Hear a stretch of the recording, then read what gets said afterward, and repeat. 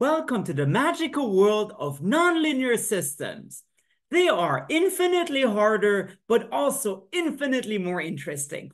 And in fact, we'll see two really cool applications of them very soon. And so, for instance, an example of a nonlinear system would be something like x prime of t is x squared plus xy plus e to the y.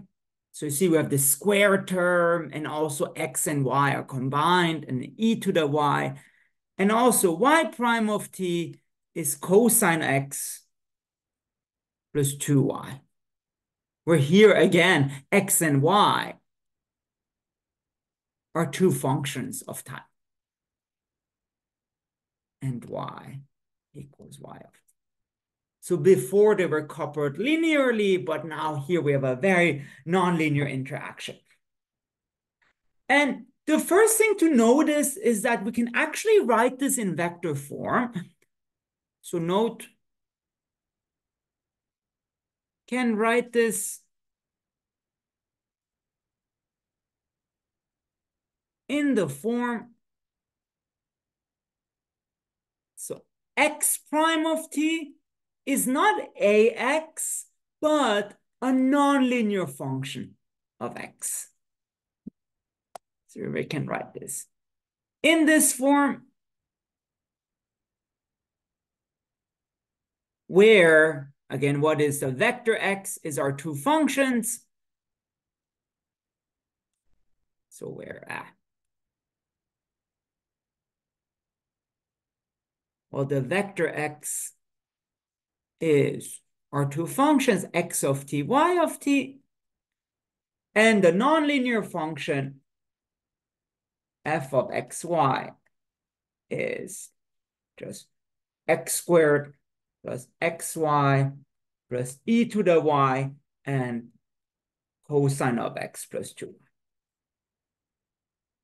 And once again, compare this with x prime equals ax before A was a linear matrix, but now F is any nonlinear function, just like in multivariable calculus. And of course, the first question we're interested in is, does this even have a solution?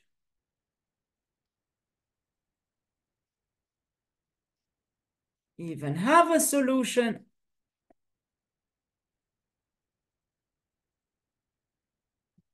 And I would like to remind you, we had a theorem about first order ODEs called the existence uniqueness theorem.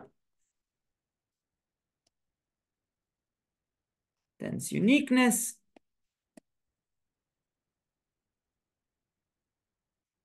Which simply said that if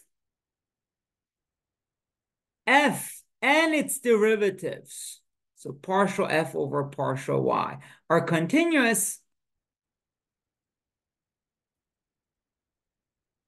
then our first order ODE has a solution. Then y prime equals f of y of t has a unique solution.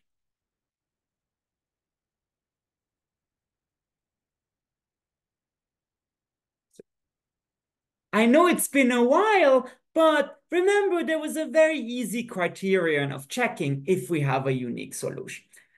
And it turns out the same thing is true here, except we need to replace this derivative by what's called a gradient. So same thing here.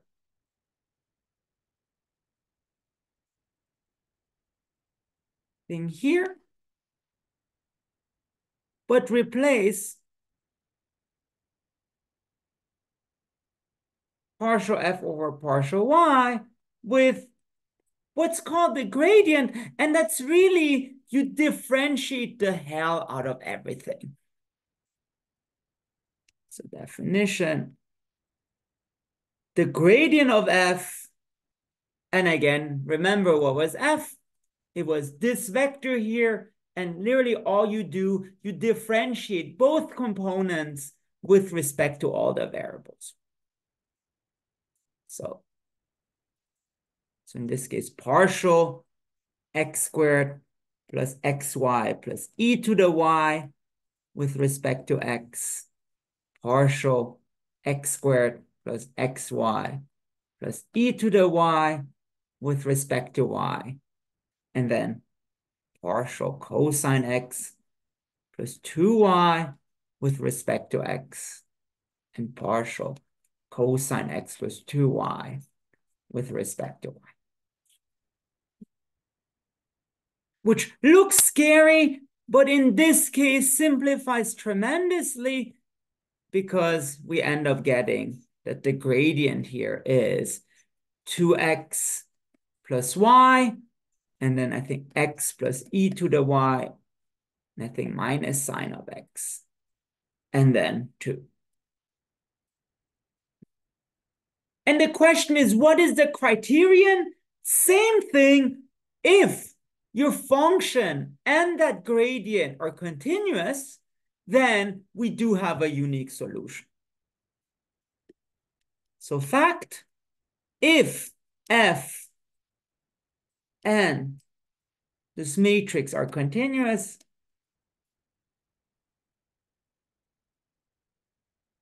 by the way, uh, matrix being continuous means each component is continuous. Then our ODE, x prime of t equals f of x of t with some given initial condition. So x at zero is x naught.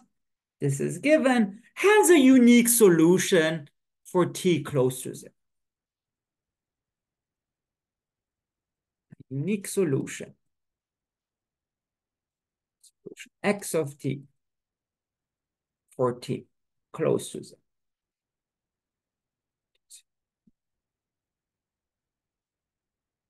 In other words, if I give you an initial condition, if I give you some vector x0, then the ODE has a unique solution near that vector. Maybe this x. So in other words, the answer here is yes, as long as everything is continuous. And once again, this implies that solutions cannot cross.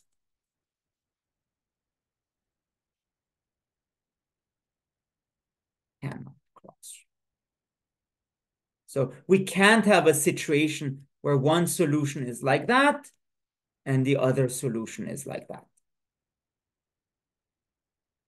Because once again, if this is our initial condition, then the question is which solution do we pick? This one or this one? We don't.